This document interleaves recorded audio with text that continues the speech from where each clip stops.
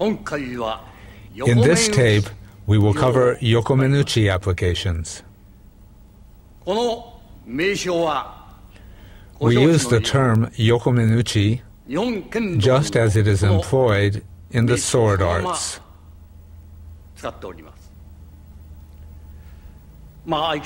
It is said that Aikido comes from the sword, but recently there are many people of the opinion that study of the sword is unnecessary in Aikido.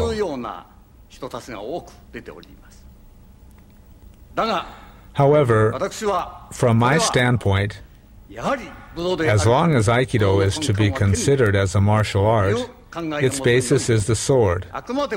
And I will endeavor to explain these techniques, emphasizing the sword in all of its facets. In so doing, we can see the true martial quality of Aikido techniques.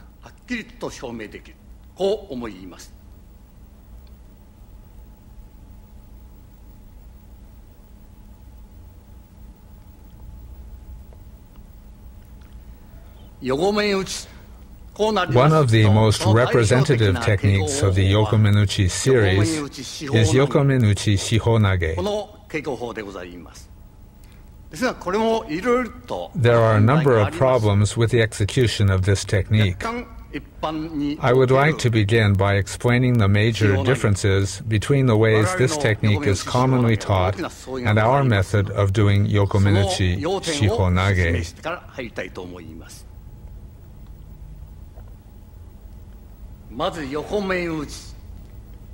One of the main problems with this technique is the use of the hand in the basic strike. Most Aikido practitioners stand this way and extend their hands. This is not tegatana, the hand blade. If you were to strike this way, you would just injure your own hand. It shouldn't be done this way. If you are going to use the hand like a sword, you must position your hand as though you are holding a sword. This is the proper way of holding the sword.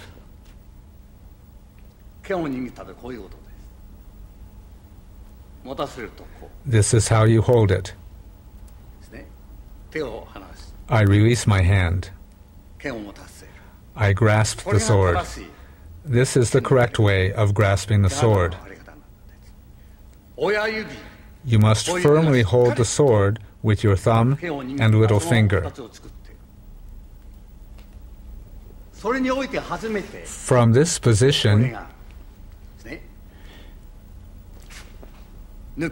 you can execute the various striking and thrusting movements using the sword. Of course, there are about 12 ways of using the hand, and they all start from here.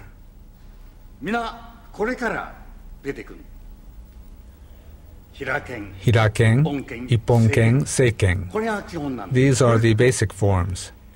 It is completely wrong to assume this stance. You must raise your hand straight over your head in order to strike correctly. Most people begin their strike from here, the side of the head. This is proof that a person has not practiced the sword properly. You can't cut anything this way. The shomen and yokomen strikes are all the same at this point. It's not done like this. You must first correct this mistake before beginning training with the sword. The next thing is where to strike. People usually execute the Yokomenuchi strike to this point. In a real situation, this is unthinkable. This is very ineffective. No one in a realistic situation on a battlefield would cut here because it is ineffective. It's hard to cut. In a real situation, you must strike to these vital points.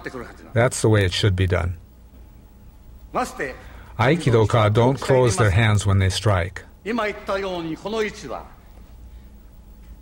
Karate practitioners who strengthen their hands don't strike that way. They know it's not effective, so naturally they don't strike that way. So what is the purpose of Aikidoka who haven't even strengthened their hands striking in such an ineffective way? That's the problem with this way of striking. This is where we strike. Here and here. With the sword, of course, you strike the shoulder.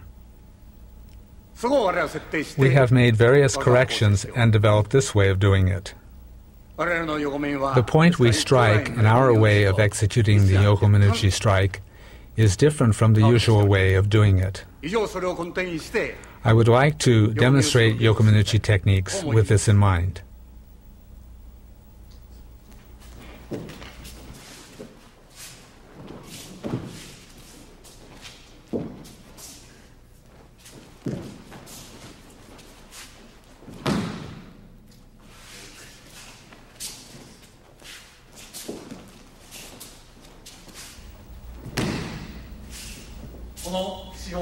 This is the difference between our way of doing shihonage and the way it is done usually.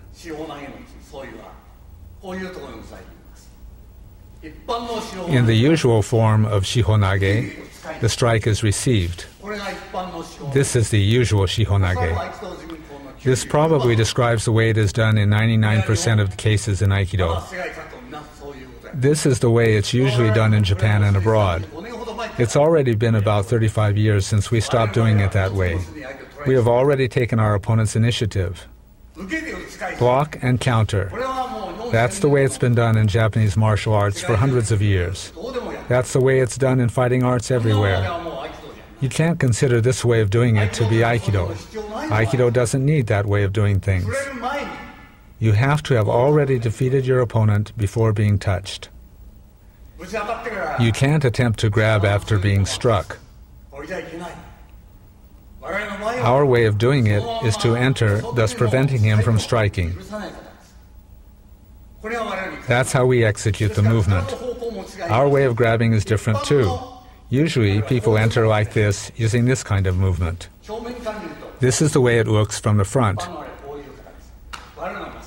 In the usual way, you execute the movement after receiving the strike we enter directly. The usual way is to first receive the attack and then enter.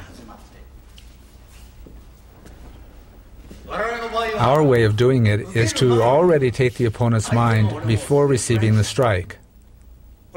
That's how we do it.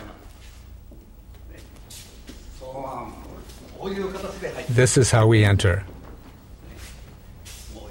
Once again.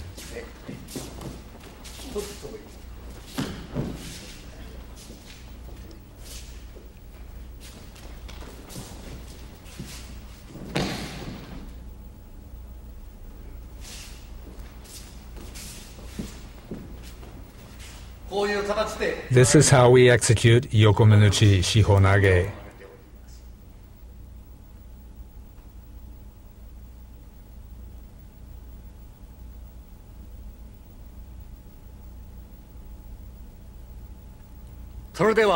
Next, let's take a look at Yokomenuchi Iriminage.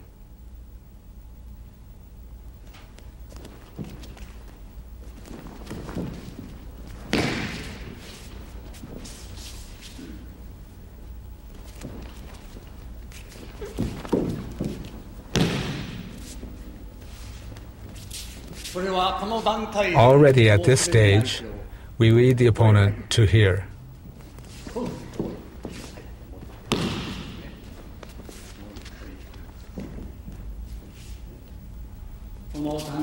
At this stage, we bring him here.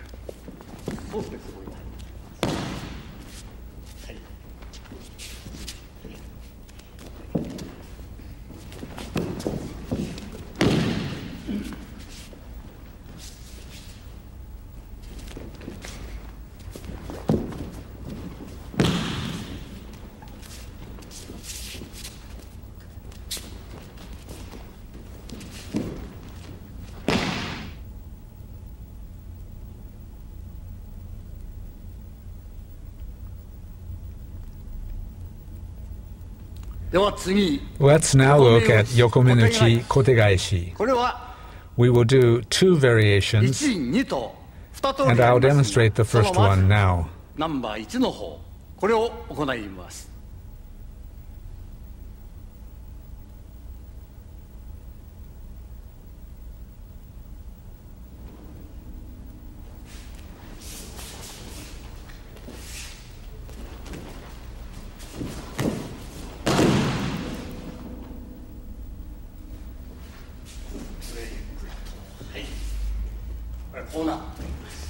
Like this.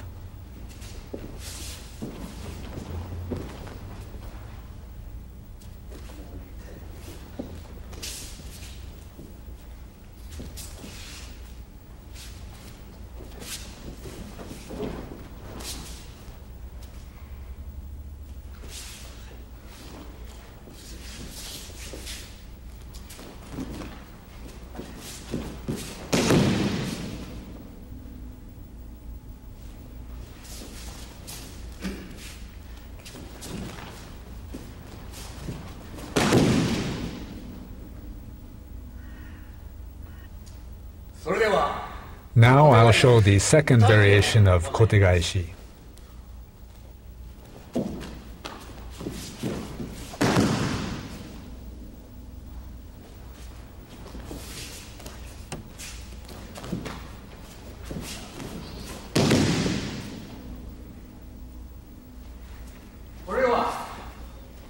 This time, I won't use this hand very much.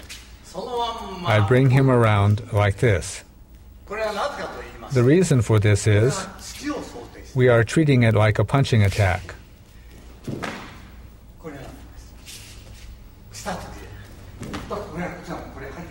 We already enter. This is how we deal with the punch. We do it this way.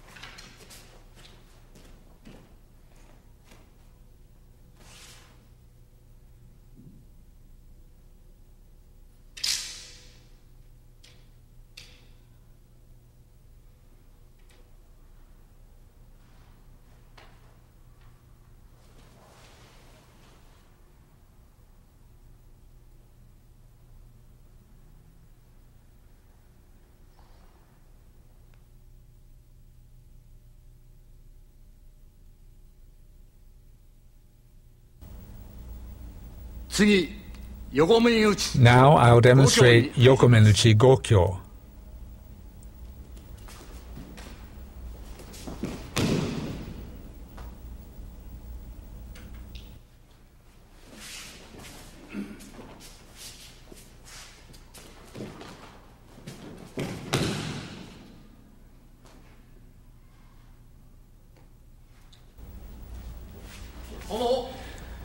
There are some problems with Gokyo also. The way this is normally done in the Aikido world, like before, I would say in about 99% of the cases, is this way.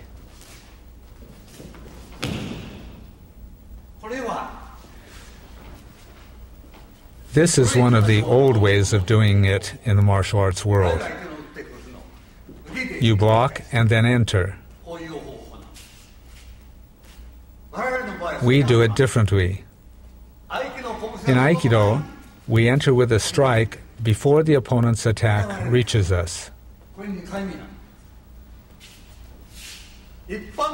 Usually it's done like this. This way is the beginner's way to do it, and it's not effective. Karate does it this way. Everybody does it this way. We don't have to do such things in Aikido.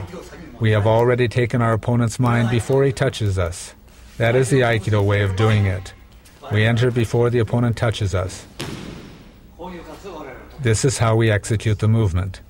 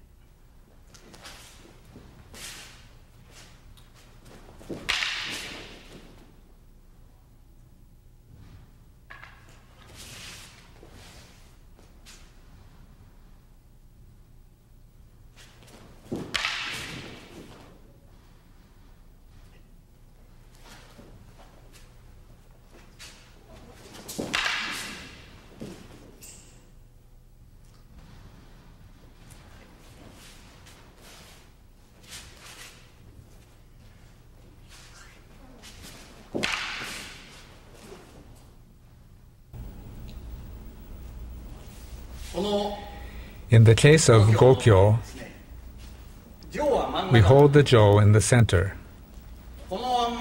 We move the jo like this.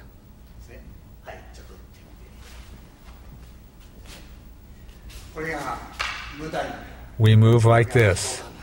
I can't reach him this way. By doing it this way, we can execute the movement freely.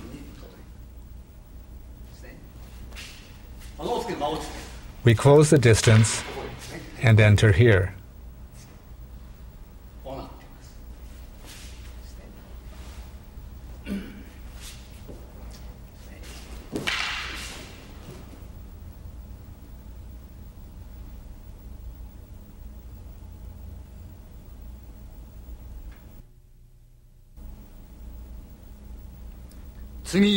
Next, I'll demonstrate Yokomenuchi Nikyo.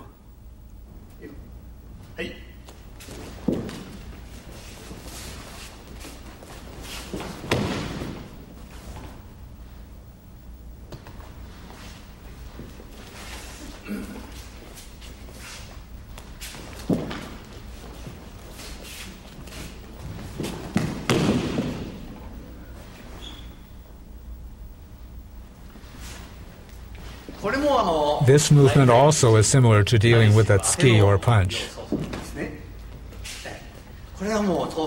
Naturally, this movement is used. We cut his eyes. Then we apply the pressure. That's what we keep in mind when doing this technique.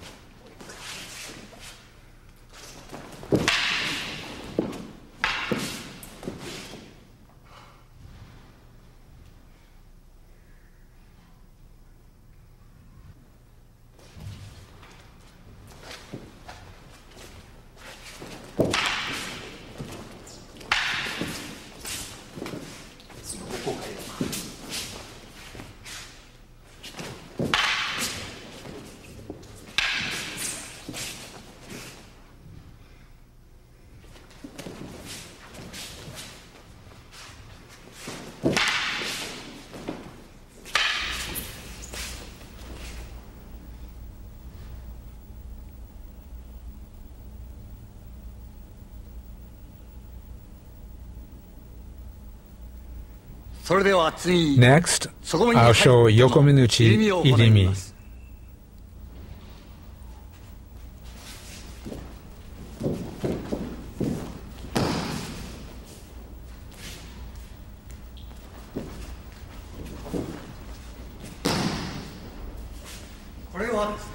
This hand appears to be receiving the attack, but it is not. We enter like this and can execute these atemi strikes. The attacker comes and we can immediately execute atemi. If the attacker comes really hard, we lead him this way. We execute the movement this way against the attack.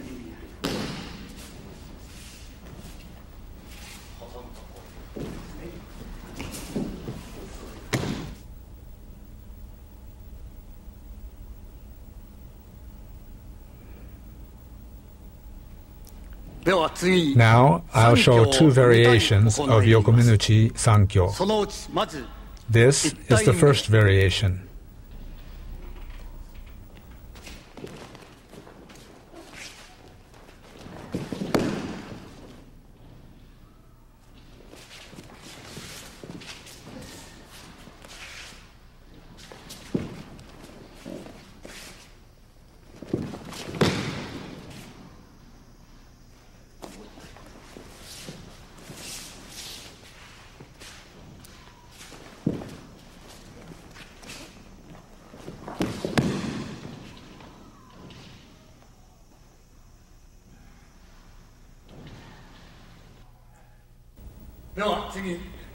Now, this is the second Sankyo variation.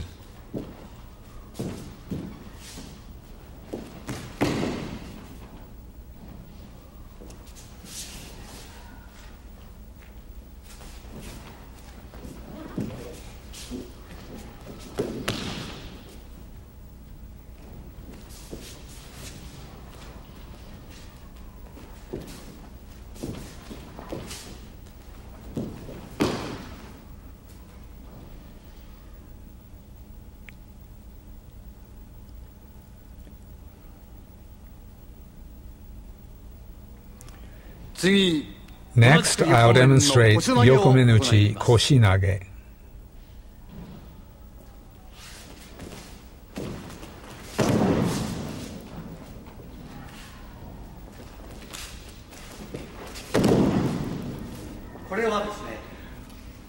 When he attacks, we execute Atemi and take his balance this way. We break his balance with the Atemi. 当ていですね。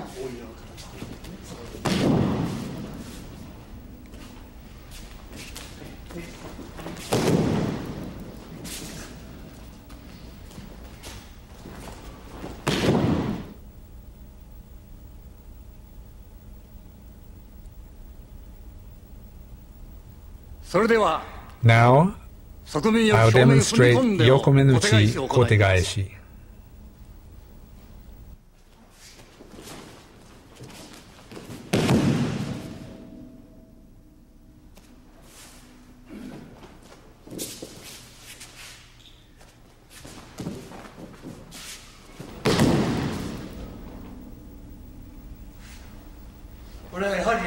Here the atemi is important.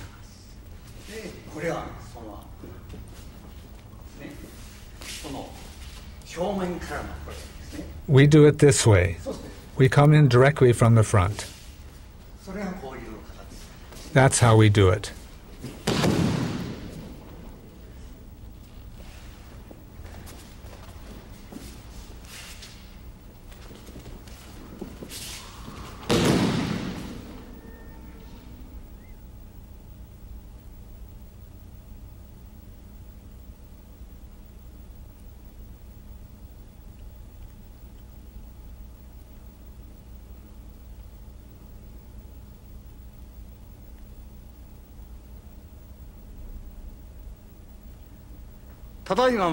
Recently, we have made certain changes to our way of doing the yokomen techniques. The reason for this is, as I explained, related to the tegatana or hand blade and the sword. We first do the technique with the ken and then the jo. I'd like to show the changes in the ikkyo, nikkyo, and sankyo techniques.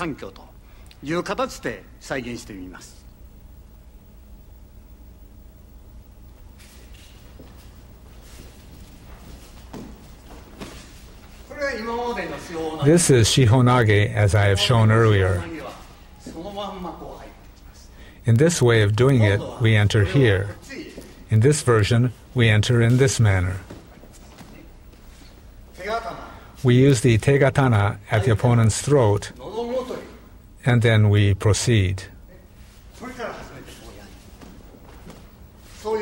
That's the way we perform Shihonage.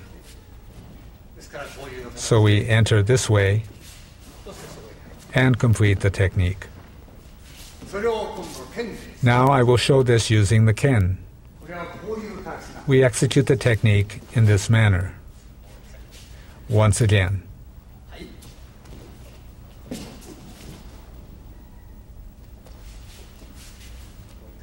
And once more.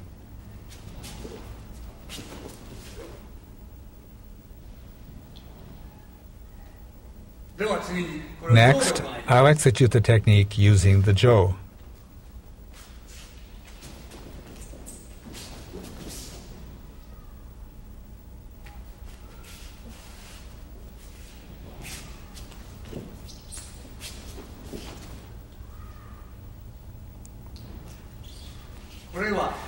This time, since he is coming to cut with a ken, we use the jo like this. We come to his chin and then come here. Instead of cutting with the ken, we strike here with the jo. We do it like this and enter.